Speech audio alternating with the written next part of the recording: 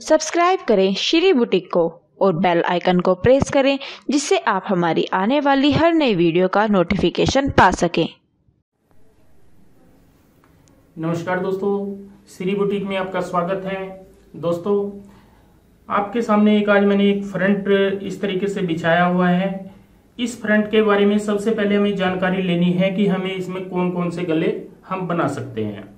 सबसे पहले मैं आपको बताऊँगा, यहाँ पे कढ़ाई वाली पट्टी है, ये कढ़ाई हो रखी है सेंटर की फ्रंट के सेंटर में। हमने फ्रंट कटिंग किया हुआ है सेंटर पॉइंट बनाते हुए। इस फ्रंट में हम कौन सा गला बनाए जो कि इसको फ्रंट को सूट भी करे और अच्छा भी लगे। तो यहाँ पे दोस्तों, सबसे पहले हम गला बनाने के लिए एक सेंटर पॉइंट का निशान लगा लेते हैं, ऐसे। एक यहाँ पे सेंटर पॉइंट का निशान लगा लेंगे। और यहाँ से जैसे हमें ब्रॉड लेंथ रखनी होती है छह इंच तो तीन इंच इधर रखेंगे और तीन इंच इधर। छह इंच की हमारी ब्रॉड लेंथ हो जाती है और यहाँ पे जो गले की डीप लेंथ रखेंगे, वो रखेंगे हम यहाँ पे आठ से साढ़े आठ इंच। अगर हम यहाँ पे राउंड शेप डालते हैं तो हमारी पूरी कढ़ाई जो है खत्म हो जाती है। जैसे यहाँ पे पूरी कढ़ाई हमारी खत्म हो जाएगी, सिर्फ़ छोटा पीस रह जाएगा नीचे। लेकिन इसको हम कैसे तैयार करें, ताकि हमारी कढ़ाई भी बच जाए और यहाँ पे गला भी हम अच्छे से तैयार कर पाए। इसके लिए दोस्तों मैंने यहाँ पे एक बुकरम का पीस लिया हुआ है, जिसमें से हमें गले की कटिंग करनी है। गले की कटिंग करने के लिए यहाँ पे हम डीप लेंथ जैसे यहाँ से सेंटर पॉइंट से ऐसे नापते हैं और तकरीबन हम यहाँ पे साढ़े चार इंच तक एक निशान लगाते हैं। इसी तरीके से हमें यहाँ पे जो हमने ये बुकरम ली हुई है, इसमें सबसे पहले ब्रॉड लेंथ का निशान लगाएँगे, तीन इंच। और यहाँ पे लगाएँगे साढ़े चार इंच। इसको आप ब्रॉड थोड़ा करना चाहें तो गले को ब्रॉड भी कर सकते हैं। यहाँ पे हमें राउंड शेप डालनी है। इस तरीके से हम गोल गले वाली यहाँ पे शेप डाल देते हैं। अब हमें यहाँ पे सेंटर पॉइंट देखना है, यहाँ पे कितना गैप है हमारा। ये वाला जो गैप आपको नज़र आ रहा है, ये कितना है? ये हमारा हाफ़ इंच से भी एक पॉइंट कम है और इसकी लेंथ जो होगी यहाँ से यहाँ तक टोटल साढ़े तीन इंच होगी। ये वाली साढ़े तीन इंच होगी क्योंकि हमें यहाँ पे साढ़े आठ इंच गला रखना है। तो यहाँ पे भी हम सेम इसी तरीके से साढ़े तीन पे निशान लगाएँगे। और जितना ये गैप है, इतना ही गैप यहाँ पे रखते हुए एक निशान लगाएँगे ऐसे।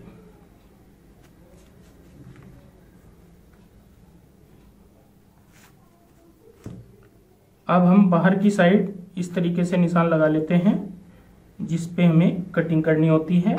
सबसे पहले हम तैयार जो निशान होता है उस पर कटिंग करेंगे।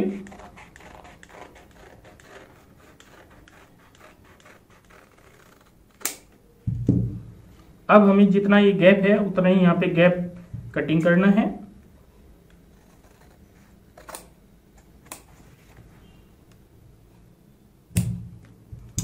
एक बार हम यहाँ पे रख के चेक करेंगे।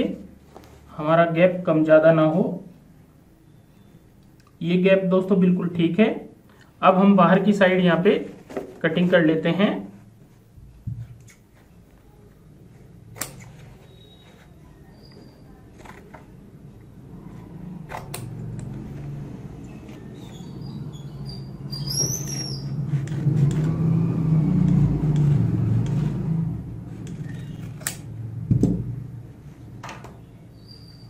गले की कटिंग हमने यहाँ पे कंप्लीट कर ली है। अब हमें यहाँ पे इसको पेस्ट करना है कपड़े के ऊपर। इस तरीके से दोस्तों हमने यहाँ पे गला अपना पेस्ट कर लिया है, जो कि यहाँ पे जो बीच का सेंटर का गैप होता है बिल्कुल फिक्स आएगा, यहाँ पे कम ज़्यादा नहीं आएगा। और इस तरीके का गला जब हम बनाते हैं तो यहाँ पे हमारा जो वर्क होता है, वो प्रॉपर अच्छी तरीके से बच जाता है इतना। अगर हम टोटल यहाँ से राउंड सेप कटिंग करेंगे तो सारा वर्क हमारा खत्म हो जाएगा। लेकिन हमने इस हिसाब से कटिंग करनी होती है, जिसमें हमारा प्रॉपर वर्क भी अच्छे से रह जाए डिज़ाइन भी अच्छे से रह जाए और गला भी हमारा बहुत सुंदर सा तैयार हो जाए। तो आइए इसको बनाने का अब तरीका सीखते हैं। सबसे पहले दोस्तों स्टिचिंग में हमें क्या करना है? बाहर वाला जो कपड़ा होता है, इसको हम फोल्ड कर लेते हैं बुकरम के ऊपर।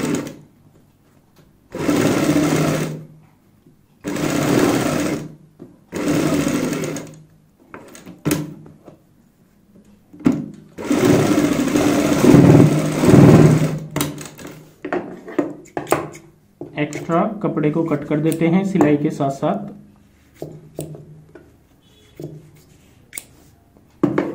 सेम इसी तरीके से दूसरी साइड से भी फोल्ड कर लेते हैं। इस तरीके से दोस्तों हमने तीनों साइड से यहाँ पे गला तैयार कर लिया है कपड़ा फोल्ड करते हुए। और यहाँ पे सेंटर पॉइंट हमने बना लिया है। अब हमें यहाँ पे फ्रंट रखना है इस तरीके से सीधी साइड नीचे की साइड ऐसे रखते हैं। और यहाँ पे सेंटर पॉइंट पे सबसे पहले दोनों सेंटर मिलाते हुए गले का और ये हम यहाँ पे सिलाई लगाते हैं सेंटर पॉइंट वाली। यहाँ पे हमारा बिल्कुल भी फ़र्क नहीं आना चाहिए। इस चीज़ का आपको यहाँ पे ध्यान रखना है।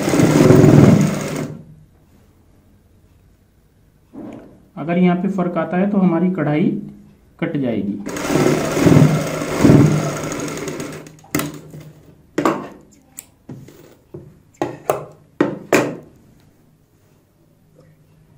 अब हम बुकरम के साथ साथ सिलाई लगाएँगे।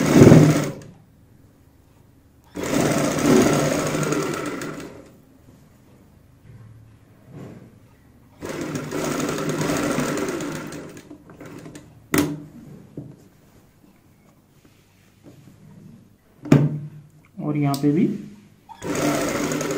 इस तरीके से सिलाई लगाएँगे।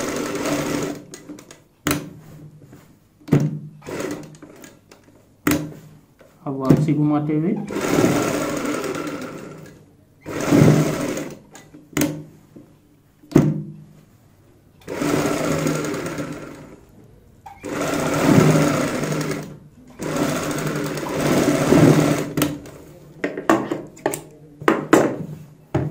जैसे हमने दोस्तों यहाँ पे गला अपना ज्वाइंट कर लिया है। हमें यहाँ पे चेक करना है कि हमारी कढ़ाई सिलाई के बीच में तो नहीं दबी तो यहाँ पे बिल्कुल ठीक है इस साइड में। दूसरी साइड चेक करेंगे तो यहाँ पे भी ठीक है।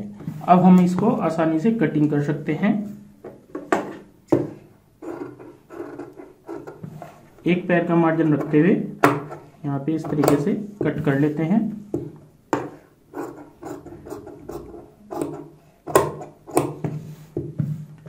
यहाँ पे सेंटर में कट करेंगे।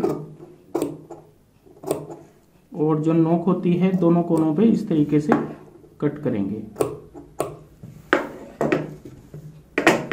जो गोलाई होती है, गोलाई में हम यहाँ पे ऐसे कट लगाते हैं।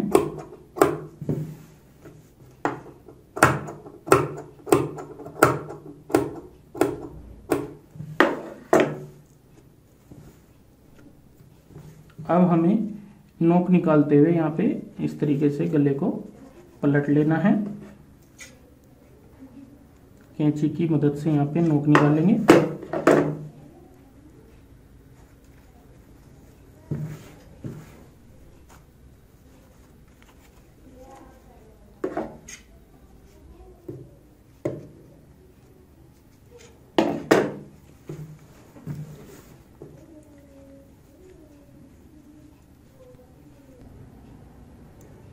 गला फोल्ड करने के बाद दोस्तों रोंग साइड जो होगी, उल्टी साइड हमारी इस तरीके से नज़र आएगी फिनिशिंग के साथ में, और सीधी साइड हमारी यहाँ पे इस तरीके से आएगी। बहुत ही प्यारी सी सेव हमने यहाँ पे बनाते हुए ये गले को कंप्लीट किया है, और जैसे आप देख पा रहे हो, कोई भी हिस्सा यहाँ का अंदर की साइड का कट का हमने कढ़ाई वाला नहीं कटने दिया है। फिनिशिंग के साथ में हमने यहाँ पे गला पलट लिया है। ऊपर की गोलाई भी प्रॉपर होगी, और जो हमारी कढ़ाई है, यहाँ पे कढ़ाई भी हमारी बहुत अच्छे से पूरी आ जाएगी। अब हम जो नीचे वाला, बीच वाला प्लेन पीस होता है, इसमें कोई भी यहाँ पे बटन लगा देंगे, जो कि हमारे कपड़े से मैच करेंगे, इस तरीके से।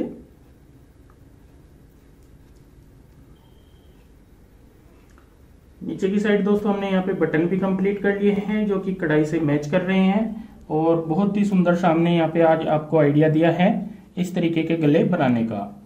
दोस्तों, आज की ये वीडियो आपको कैसी लगी? प्लीज़ कमेंट करके हमें ज़रूर बताएँ और इस वीडियो को शेयर व लाइक ज़रूर करें। धन्यवाद दोस्तों।